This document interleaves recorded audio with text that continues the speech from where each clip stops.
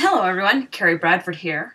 Um, today I'm going to talk to you a little bit about the DXF files. In light of the recent changes regarding not being able to sell studio files, I thought that today I should share a tip with you on how you can, how those of you with the standard studio edition, not the designer edition, could work a little quicker with your DX files and get them into your library.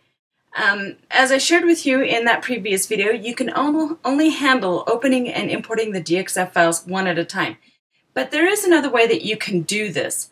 If I come and I have my, a list of DXF files here, um, you know, normally what you would do is you would come in and you would choose your file open and, and all of that.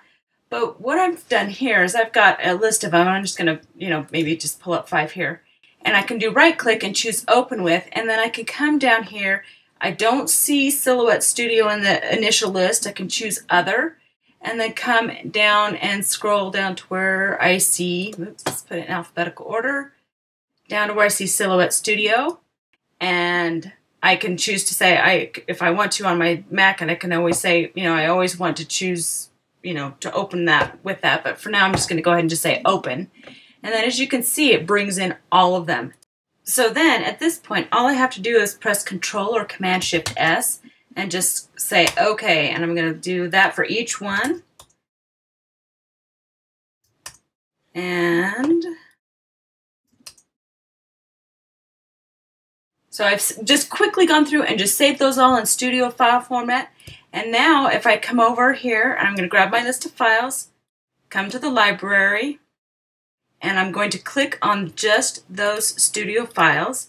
As you can see if I were to expand this out you would see that those are in the Silhouette Studio format now. Then I can just take that, click on those, drag them into the My Library, and you can see now that they have been added.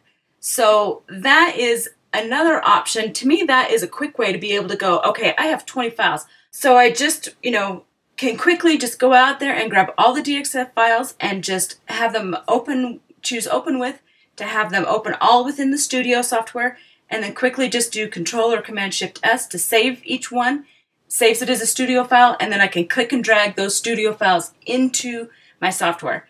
I know it probably sounds like a, kind of a roundabout way, but it's better than the alternative of having to go into File, Open, bring it up, and then, you know, work with it from there. This is one way to do a mass production all at one time it's kind of silly that the, the Silhouette has taken away the studio option to have that automatically done for you, but at least you can do it this way yourself and make it much, much quicker.